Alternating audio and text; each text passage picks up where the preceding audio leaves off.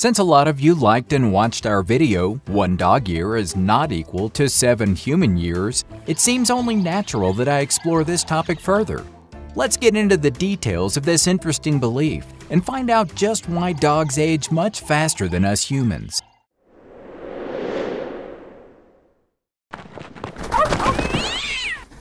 Meet Mademoiselle Jeanne Calment, a French supercentenarian who lived to be 122 years and 164 days old.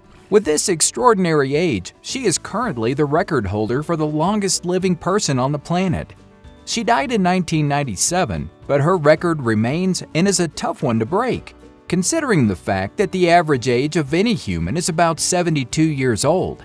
Another species who keeps baffling us is the Galapagos giant tortoise. And it's not just because of its size, but its age as well. Did you know that a Galapagos giant tortoise can live over 100 years old? And did you know the oldest one, Harriet, lived to be over 170 years old? How come, though, this extraordinary life expectancy is just not aligned in the stars for our beloved pooches? Wouldn't it be just great if we could grow old with the dogs we grew up with as kids? As much as I wish this for my buddy and me, unfortunately, there are some inevitable factors standing in the way of our happily ever after. But there is some hope, because dogs can live very long too. Take Bluey, for example.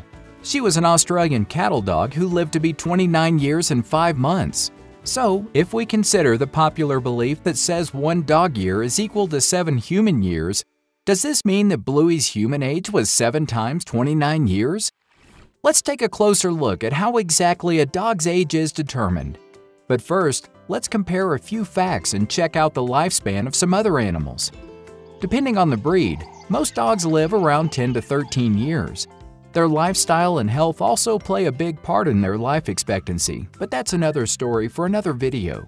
A dog this old is already considered a senior, but a 13-year-old person on the other hand still has his whole life in front of him. And remember how dogs can have pups at 9 months of age, while humans are only fully grown and developed at 18 years. A quick assessment of these two examples tells us one thing for sure. Dogs age faster than us humans, way faster. How come though? Have you noticed that bigger dogs live shorter lives than smaller ones? Take a Great Dane for example. This breed can live up to 8 to 10 years. But when looking at a smaller breed like the Chihuahua, you'll see that their life expectancy is around 12 to 20 years. And it's not just the bigger breeds that don't live to an old age. Sadly, in comparison to other species, dogs just aren't that lucky. Aristotle believed that the moisture of an animal had something to do with the lifespan of an animal. He observed that an elephant lived longer than a mouse because of the difference in body fluids. While this is not entirely correct, the Greek philosopher was right about one thing though. Bigger animals tend to live longer.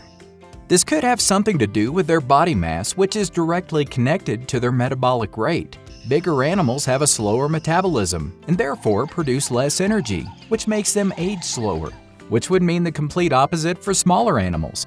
Some animals with a faster metabolism don't live as long due to the fact that their bodies work much harder, making them tire out faster. Well, this is what scientists have believed for almost a century. But it seems this rule does not apply to all animals.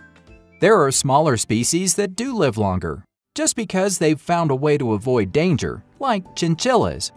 In the wild, they hide in burrows because they offer a safe haven for them, Thanks to this hiding habit, these animals live to be 10 to 20 years old. Hide and live. Pretty good code to live by, if you ask me. And did you know that the longest living rodent is the naked mole rat, which has a lifespan of 30 years? But for them, it's their very low metabolic rate, which gives them five times more years of life than they would actually have, were it not for the low oxygen environment they live in. Circling back to bigger animals for just a second, Bigger animals also have a greater chance of survival due to the fact that most bigger animals don't really have anyone standing in their way of, well, their living.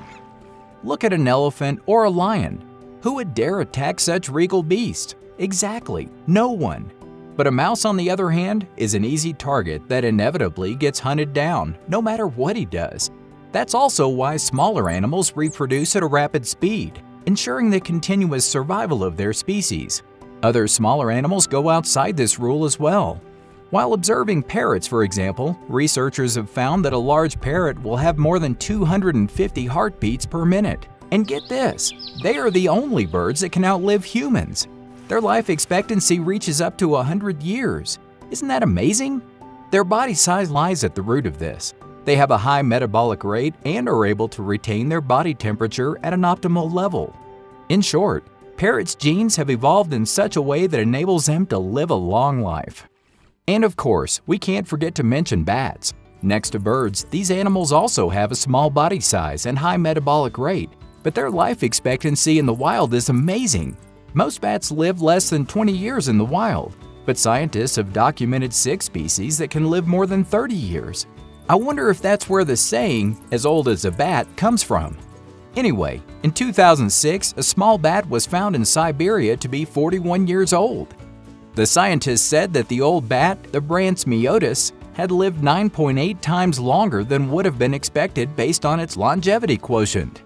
That's the maximum age standardized by its body size. In this case, this is the highest value ever reported for any mammal, including those maintained in captivity. According to Podlutsky, Associate Professor of Cellular and Structural Biology, the human longevity quotient is only 4.5, with a record documented lifespan of 122 years. I guess that this Brandt's myotis specimen could be considered a supercentenarian among bats, holding the same life secrets just like Mademoiselle Jeanne Calment. Cats also live a much longer life in comparison to dogs. They may not really have nine lives, but if a cat is domesticated, it can live up to 20 years, maybe even longer. The explanation for this lies in the cat's innate behavior. Dogs are pack animals and are very sociable. While a favorable trait for a dog owner, it's also the reason why dogs are easier and more susceptible for diseases. Because they like to mingle with each other, dogs easily spread and get diseases from other dogs. Cats, on the other hand, are solitary animals who mostly choose to stay aloof. Being independent helps them to avoid contracting diseases, consequently boosting their lifespan. Dogs, however, have a high metabolism as well, but unfortunately, they don't have the same longevity as parrots.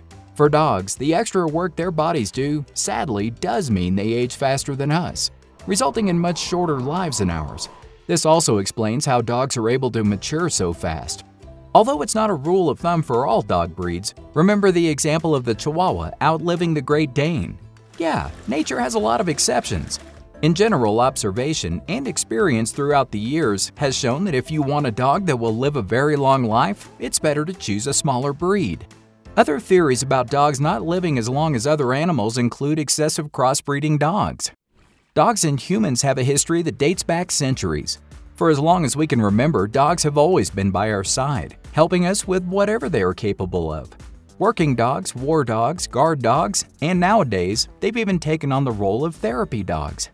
They are such versatile animals that I guess we also could not and cannot resist to make them even better. Crossbreeding them to get new, stronger, and healthier breeds may have helped us, but did it help them though? Crossbreeding has always been a subject of debate. I have to say, though, that dogs do live longer than their ancestors. Wolves only live to be about 6 to 8 years in the wild, while dogs, thanks to domestication, outlive them by at least a few years extra. And then there's the matter of calculating their age. The 1 to 7 years ratio, though widely used and accepted, fails to tell us how old a dog really is. Scientists from the University of California San Diego School of Medicine, however, have done a study which provides a more accurate calculation of a dog's age. They created a formula that compares the ages of humans and dogs more accurately. The changing patterns of methyl groups in dog and human genomes is the basis for the study. Since dogs and humans don't age at the same pace in their lifetime, the results show it's not a perfectly linear comparison, as the 1 to 7 years belief would suggest. Through tests done on the blood samples of 105 Labrador retrievers, in the end, the study produced an interesting graph with this, the age of your dog and the comparable human age can easily be determined. Let's say your dog is 9 doggy years, which would mean he's probably as old as the 65-year-old actor Tom Hanks. The study clearly shows that it's not a 1 to 7 years ratio, is a flawed method to calculate your dog's age. When dogs are young, they age really quickly compared to humans. A 1-year-old dog is similar to a human who is about 30, while a 3-year-old pooch is about 48 years old. But by the seventh year, aging slows down for a dog. And if your canine is really lucky to reach the age of 10, then he would be 68 years old if he was human. I, for one, am happy to celebrate each year I have with my buddy and me. How old is your pooch?